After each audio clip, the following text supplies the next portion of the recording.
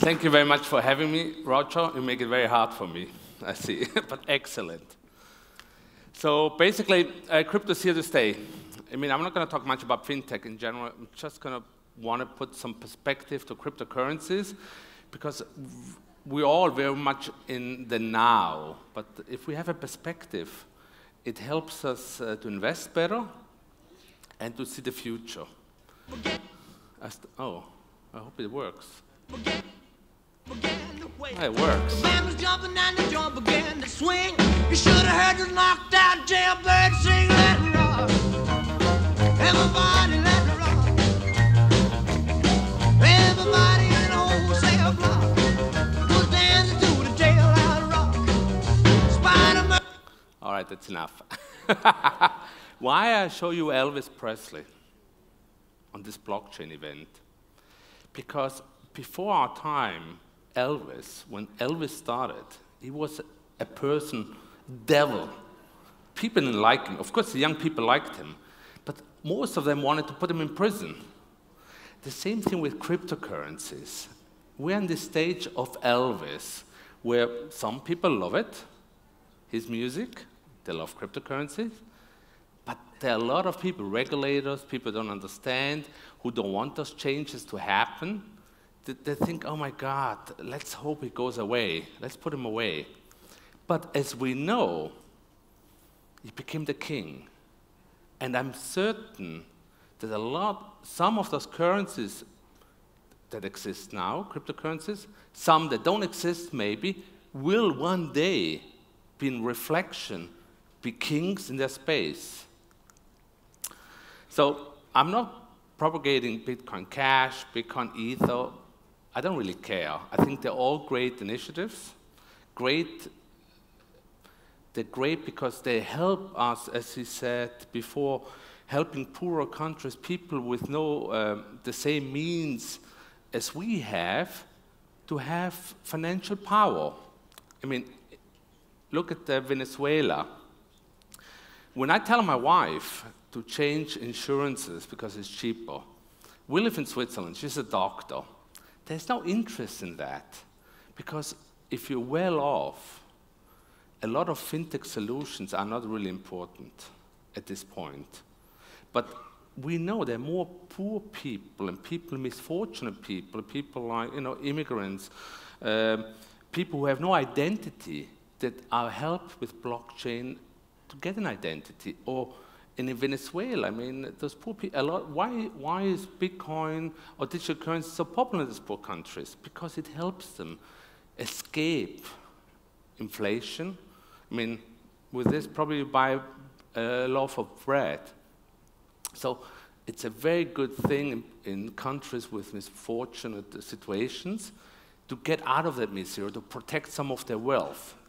Then, of course, market volatility of course, we haven't seen it right now, but eventually, maybe digital currencies will be for a lot of people like gold. As gold was for and is still uh, a hedge against uh, uh, difficult situations, I think digital currencies will take the same place within uh, a newer generation of people.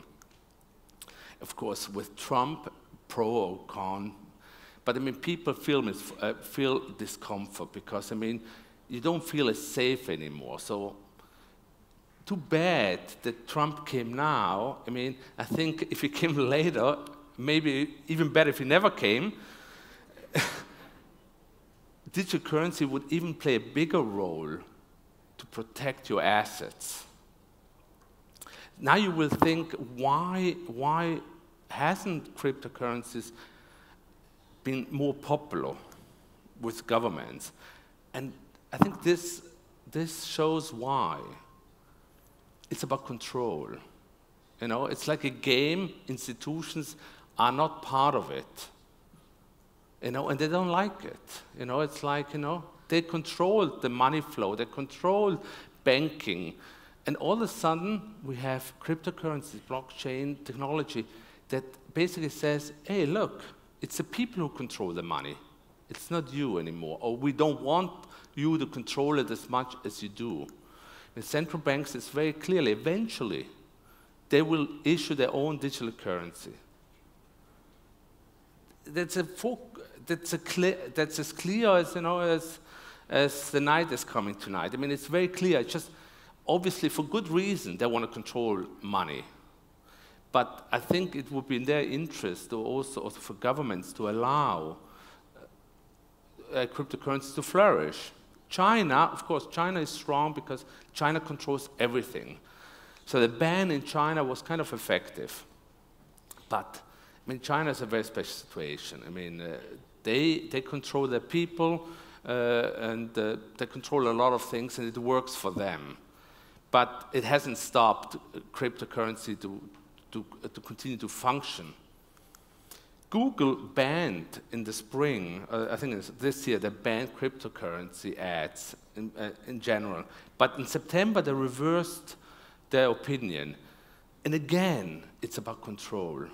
It's always about control. It's just, it goes everywhere. When you talk to Jamie Dimon, he's a Greek guy actually. And, and then he reversed it, his statement, which is actually a smart thing to do if you're wrong. But I don't think he believes in what he was saying there because he's really against digital currencies. But I couldn't care less. You know, it's actually good. You have to know, I come from a hedge fund business. It's actually good if we have a lot of people who are not converted yet. Because if everyone would have been converted to cryptocurrencies, it would be too late. I mean, people, eh, it's like then we, we would not be talking about this anymore.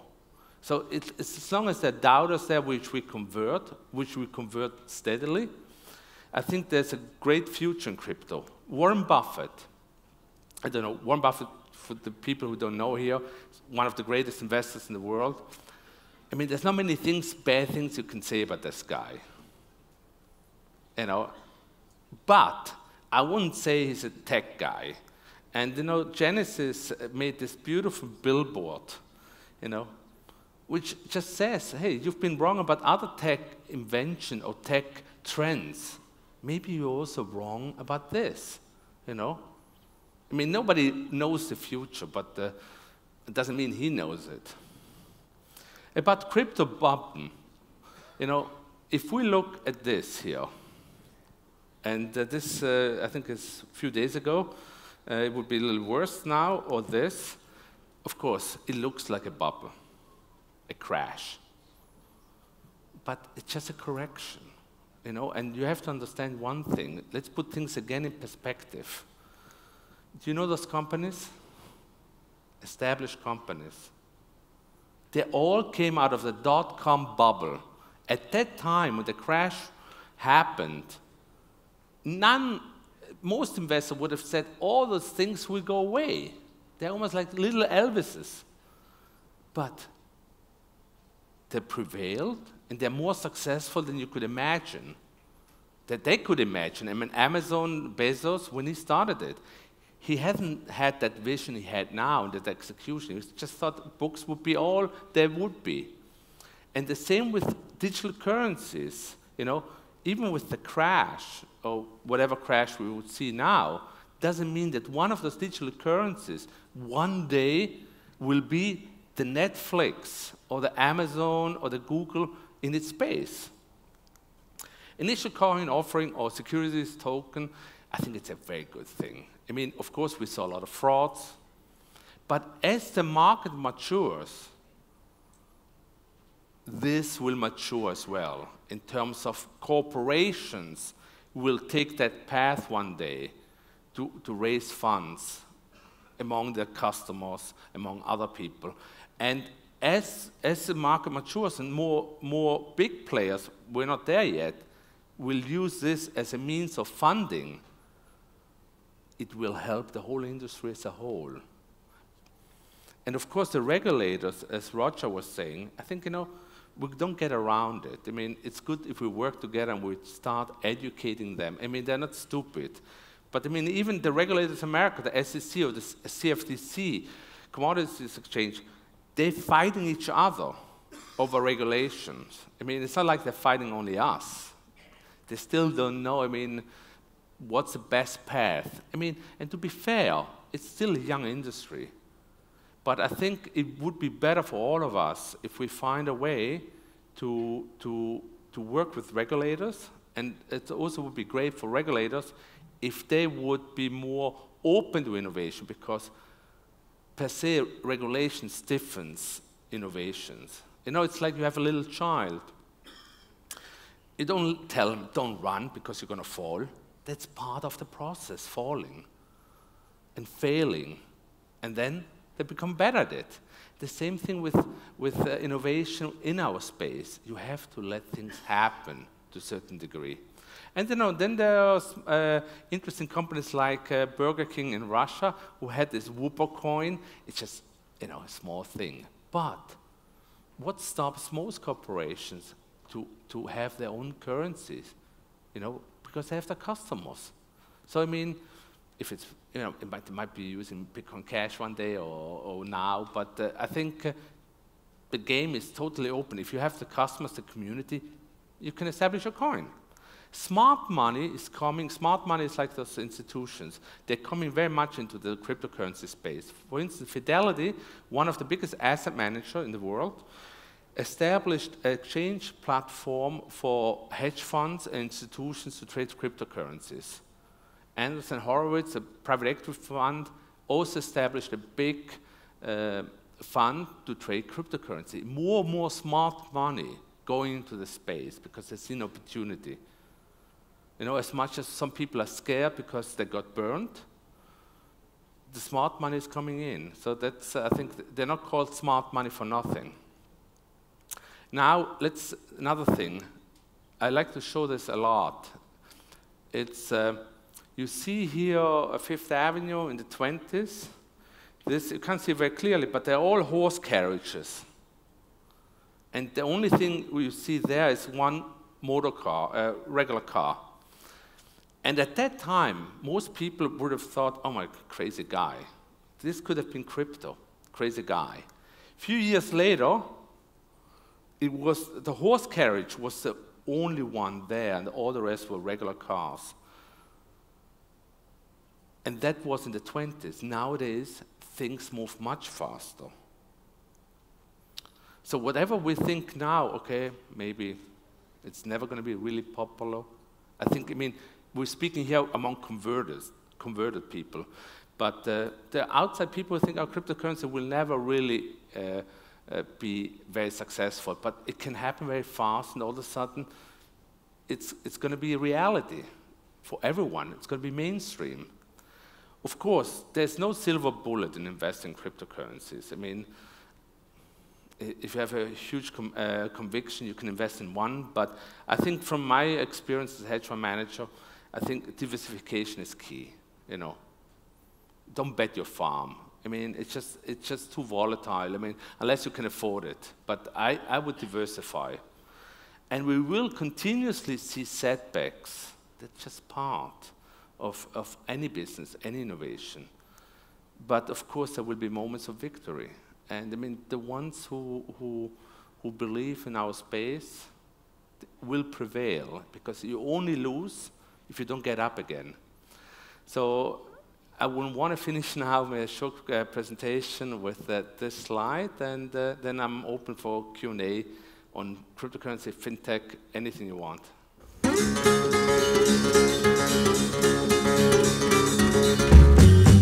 Well, I quit my job down at the car wash. I left my mama a goodbye note. By sundown, I left Kingston with my guitar.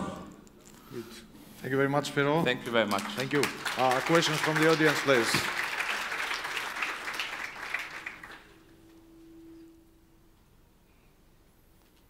Any questions? Ah. Yes, please. Thank you for the presentation. I wanted to ask what, what in your opinion, is going to be the killer application for cryptocurrencies? I don't know. That's a good thing if I say that. I really don't. You know, I mean, of course, I mean, now it's used more for speculation, to be honest. I don't think, uh, I don't think most people buy things anymore. I mean, but uh, if we go away from um, speculation uh, into as using it as a currency, as it matures, I think then uh, and volatility goes out, you know, that, that would make uh, cryptocurrency more successful. But I can't see now which, uh, which killer app will do the job. Predictions are always difficult, especially about the future. Exactly. Yes. Uh, my name is George Ganzias from Hellenic Open University. Mm -hmm. I think very impressive because I think digital currency improves democracy. And democracy actually is in crisis with liberal democracy now. It's mm -hmm. a huge crisis. And uh, uh, digital currency actually is the way out of finding the way how democracy can work in the future. I would like to ask you, uh, for instance, can go, because recently we have a lot of developments in artificial intelligence. Yes. And artificial intelligence, do you think that is going to be a threat to this digital currency? Because in the future, machines that can produce money, and this is what worries me because they can make programs and all this stuff. How can actually we be able now to think to tackle this problem which maybe comes in the future uh, with the digital currencies because all these digital currencies, they can unify it with artificial intelligence because you can control machines. This is my worry, my concern actually. I would like to have your view about that. Uh, how can you think about artificial intelligence and digital currency? Thank you very much.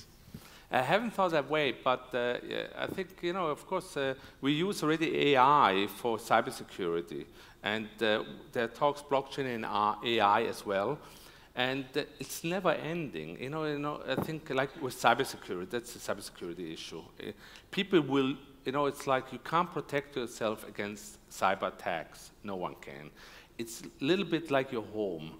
You make it more secure, so they will go to your neighbor. I don't want to go to my neighbor, but people attack the weakest link. So therefore, platform, uh, uh, currency, cryptocurrencies have to make themselves so um, solid that, and safe, as safe as possible, because there's no complete safety. The NSA is hacked. So, and AI advances. Look at deepfake. Deepfake is like, you know, you can uh, make Obama say anything you want, and you won't be able to tell the difference. Already, you can a little bit, but it's getting better and better. So a lot of things will be with AI. We can't stop that. You know, even if we can't, it will affect every business we're in, every business. But there's also the big promise of blockchain because blockchain is about trust. And I envision one day, because you can fake everything, so real, and almost everyone of us could do this in the afternoon, that it will have like a sign that says, hey, approved by uh, blockchain technology that this is real. And that's, I think, the biggest prom promise of blockchain as a whole, trust. Yes, there's a question there. Yeah, I just want to quickly talk about the ICOs you talked about. Yes. Especially last year, you hear in the news about the ICOs and exit scams that were happening, and you talked about that diversification. Now, you hear still in the news about the scammy ICOs and the people being busted every once in a while. And a lot of investors kind of step back from that perspective because you hear about stories people running away with 60, 80, 100 million dollars worth of an ICO and they have no just a white paper behind them. They have no project, they have no proof, they have just a white paper associated with it. What do you think is going to make investors more comfortable, especially going long term, investing back into ICOs mainstream? I think regulators play an important role there to protect us. I think security tokens will be more popular, obviously, because you get something for it. And I think the worst, I hope the worst, are behind us. I think you won't raise hundreds of million or $10 million on, uh, on a white paper, on just a vision. Even in the real space, away from ICOs, it will be more and more difficult for smaller players to get funding anyway of ICO or regular funding because people are much more focused on big ideas, executions. And I think if you, if you have a company that produces results and you give a securities token where basically uh, people get in return an equity stake in the company, that has a future. And the frauds, it just, it was the Wild West. Maybe we're still a bit in the Wild West, a little bit. But with new successes, we will forget the bad experiences, like in real life. Like we all have bad dates, you know. But when you have a good date again, a nice romance, a romantic thing, then you forget all the bad things, and then you build on this. And the same thing with ICOs. You know, there were some bad dates, but I think there will be some romantic stories ahead of us. I hope so. Okay, I see at least three or four more questions, but my timer is flashing there, so I'm going to have to stop it there. I think both uh, Spiros and Roger are going to be available for questions uh, during our break, so please join me in thanking both our speakers. Spiro, thank you very much. It was a pleasure having you.